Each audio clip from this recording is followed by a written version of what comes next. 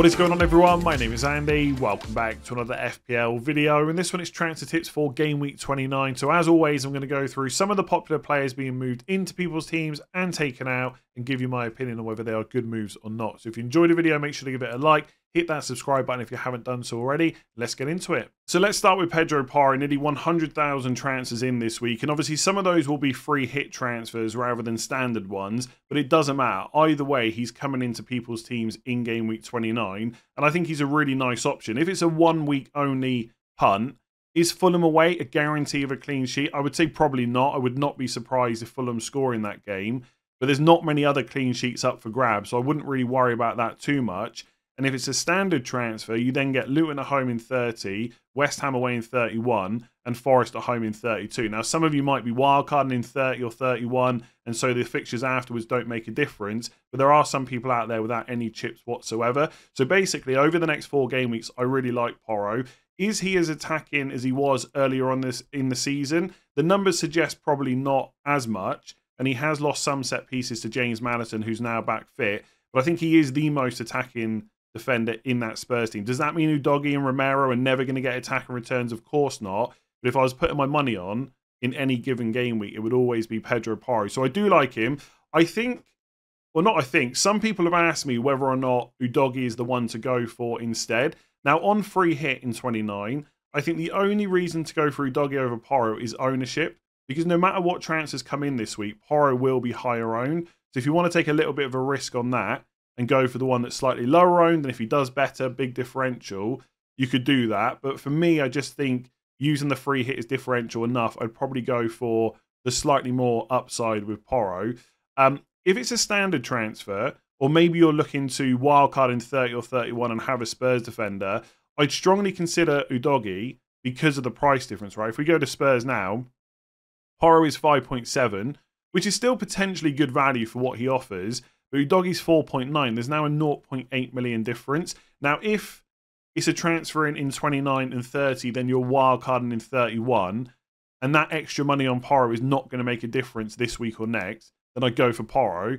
But if there's a chance that that money gets in the way, right, that extra money you've spent gets in the way of another move, or you don't have um, chips to use, and this is a long-term transfer in, I think I would take the 0.8 million saving because at some point soon if all attackers, our favourite attackers over the next few weeks are fit, you might be trying to fit in the likes of Haaland and Salah and Son and Saka, and suddenly the money gets a bit tighter than it has been over the last few weeks. So I still think that Porro is the better defender over Udogie for FPL, but I don't think it's so much that I'd spend 0.8 million at this point. I think earlier on in the season when people were making this decision, the money was a lot closer. That's not the case now. So just to summarise, I think good transfer in whether you're free hitting or not because of the next four fixtures. I think Porro is better than Udogie, but as a long term move, I'd probably save the money. And, yeah, I think Porro is better than Udogie, but as a long term move, I'd probably save the money and go for Udogie instead. So let's stick to Spurs and talk about James Maddison next. And I think the discussion is very similar to Pedro Porro. So Maddison has had nearly 100,000 transfers in. That's going to be split across free hit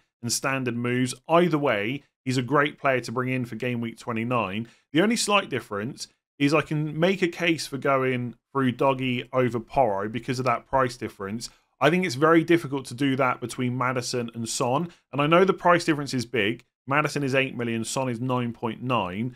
But I wouldn't sacrifice Son unless I absolutely had to. He's got higher goal threat than Maddison, plus he's on penalties as well. And I think that is worth paying that premium for. Of course, your team might be in a slightly different position where if you go for Maddison over Son, that enables something big later on, fair enough. But for most people, Son has to be the number one midfielder to bring in this week. And then I think whatever your chip strategy is, the next best player to bring in is probably Maddison. Because if you're wildcarding in game week 31, then you get the Luton at home game in 30. And I think Fulham away and Luton at home for Maddison is better than any of Bailey, uh, Douglas Luiz, or even Jarrod Bowen or Kudus or anyone like that. So I think for a short two game move, he's the better option. I even think for game week 29 only, he's probably better than any of those midfielders I've listed. I think on free hit in 29, some people might be tempted to go for a Spurs punt in attack, like Brennan Johnson, Kulusevski, or someone like that.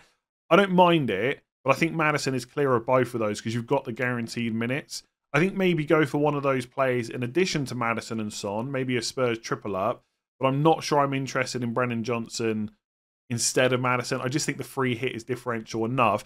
And if you're on no chips, right, then you get West Ham away in 31 and Forest at home in 32. The fixtures do get a bit trickier for Spurs after that, but they will have double game weeks to come later on as well.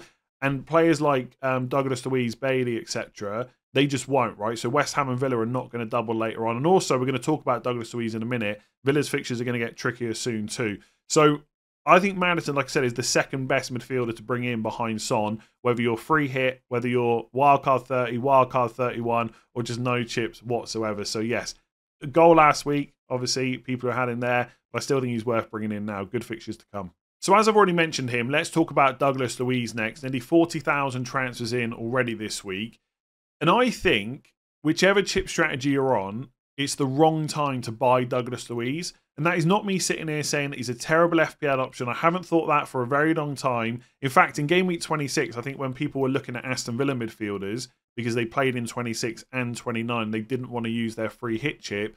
I preferred Luiz over Leon Bailey, right? You've got guaranteed minutes and penalties as well. But I think in game week 29 itself, whatever your chip strategy is, there's a better midfielder to buy unless money is going to be an issue. Because at 5.7 million, Douglas Luiz offers you pretty much a guaranteed 90 minutes every week, plus those penalties, which I've already mentioned. So he's still a fairly good value player.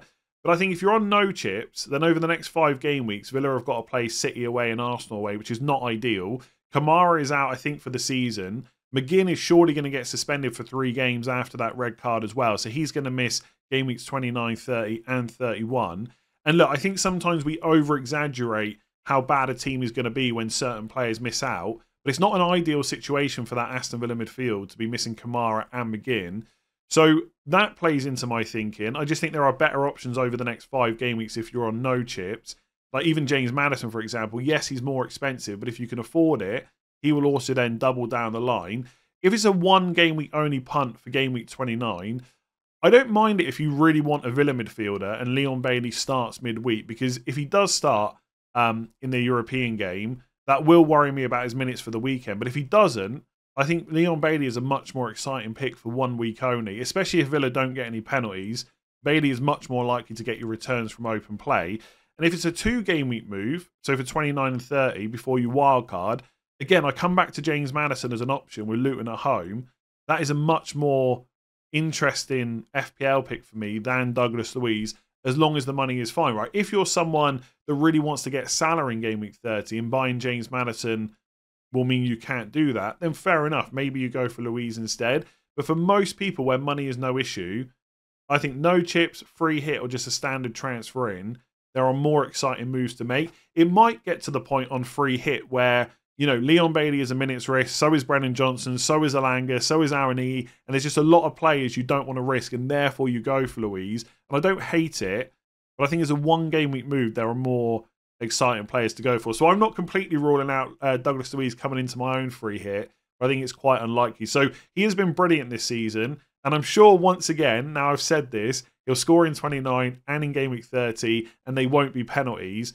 But like I said, I just think for most people, there are more interesting players to bring in this week. So let's move on to Dominic Solanke. Nearly 100,000 transfers out already this week. And I think it's quite nice to talk about him before Bournemouth play Luton because then it doesn't come across as complete hindsight. Obviously, he hasn't done very well in the first game of double game week 28 against Sheffield United, missed a penalty on a zero pointer. And the fact that Bournemouth don't have a game in 29 and people are going to wildcard soon is definitely playing into selling him. So I completely get that. Uh, and obviously, he's got this knee issue as well. That doesn't worry me a huge amount just because they seem to be managing it pretty well. But I guess his minutes against Luton will tell us just how fit he really is. If he plays 80 to 90 minutes in that game, then for me, he's not really much of a concern moving forward until he starts missing games and minutes and stuff like that.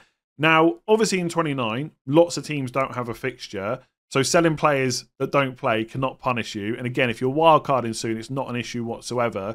The only thing I would say about Solanke is Bournemouth do have a game against Wolves to rearrange. And there is a chance it goes into game week 34. So potentially within the next six game weeks, Bournemouth could have a double. It is not guaranteed. That match could go into game week 37 instead, but it's a possibility. And after 29, they got Everton at home, Palace at home, Luton away, next three game weeks, then it's Man United at home in 33. And if they did double in 34, one of the fixtures would be Villa away. So Solanke plays all those games.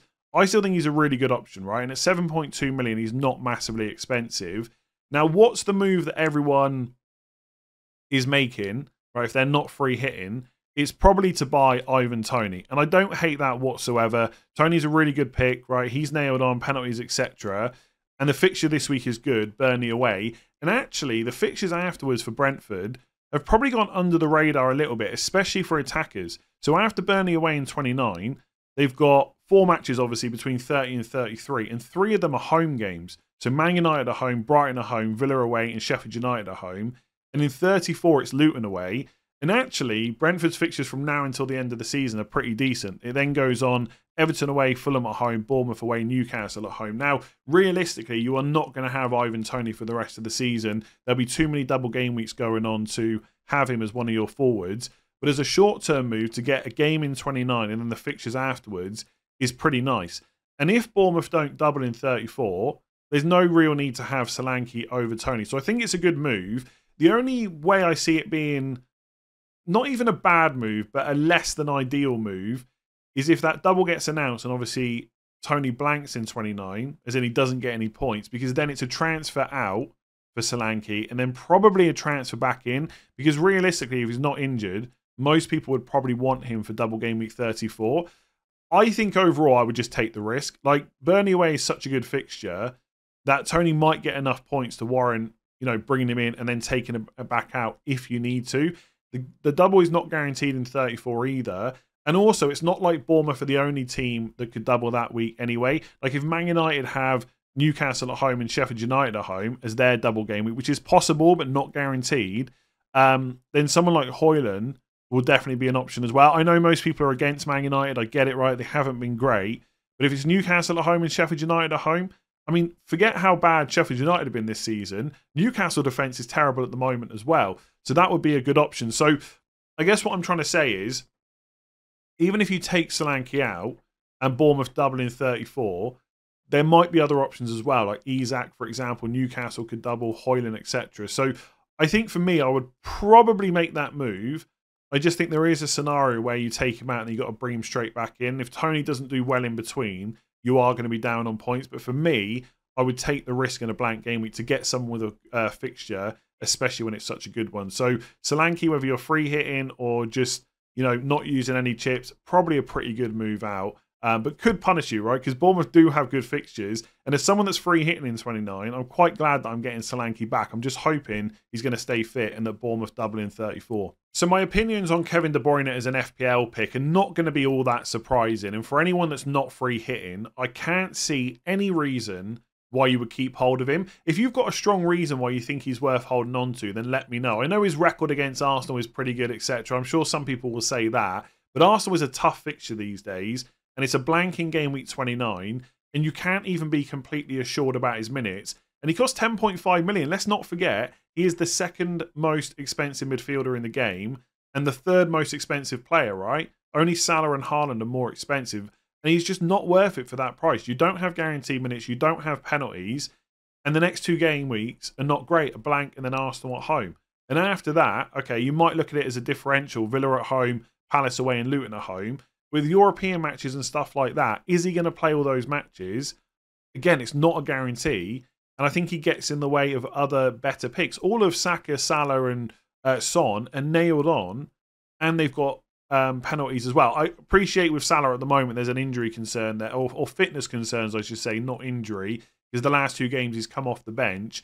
But if he proves his fitness right, Salah is going to be one of those players that everyone wants to get because it's Brighton at home in 30 and Sheffield United at home in 31. So unless Salah has another injury that keeps him out, I just don't see a place for De Bruyne at that price point. I just don't think there's any justification whatsoever. Like you look at the last few game weeks, 68 minutes against Liverpool. So in that game, right, big game. If you can get the win in that, that's huge for the title race. And he brings off Kevin De Bruyne after 68 minutes. That's not something you would have seen in the past. 90 minutes against Man United, great. Six minutes against Bournemouth. He missed the Brentford game. Just too much of a worry for me. I'm sure he'll start against Arsenal. I've got no doubts about that. But I just think moving forward, there could be games where he gets rested. And he's not getting any younger, right? He is a fantastic footballer. He's probably been one of the best, if not the best in some people's eyes, midfielder that's ever graced the Premier League, right? Uh, I'm not going to get into that discussion right now. But age catches up with everyone. He's going to be 33 in the summer. And Man City are pretty shrewd with their transfers. I wouldn't be completely surprised uh, if they end up selling him. Again, that's another discussion for a different kind of video. But overall, I come back to the point. I just don't see any good argument to why he is a good FPL pick, mostly because he gets in the way of, in my opinion, better FPL picks. So blank this week, Arsenal in 30. Whatever chip strategy you're on, he should probably be going in game week 29. So there's a few people looking to get rid of Bukayo Saka this week, and I completely get it because Arsenal don't have a fixture, and then in game week 30 they run into Man City away. And a bit like I said with Dominic Solanke, any player that doesn't have a fixture in 29 is worth thinking about getting rid of, especially if you're going to use your wild card soon in game weeks 30 or 31, because you can always bring them back in. And I know obviously Saka has been on an incredible run recently, which did come to an end against Brentford. But overall, he's a great FPL pick. And the fact he's nailed on on penalties definitely means he could score against Man City.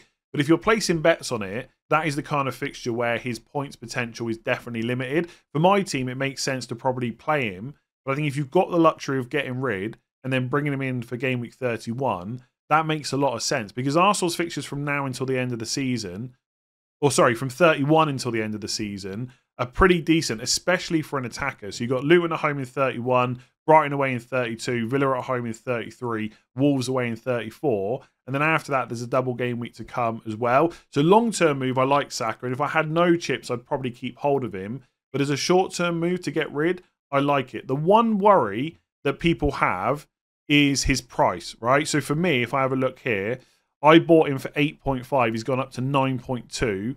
So I can sell him for 8.8.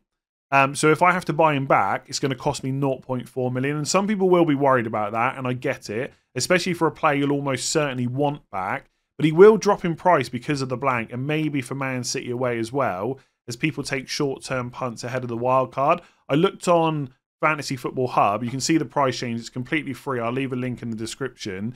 Uh, and Saka is somewhere here. Yeah, Saka's here.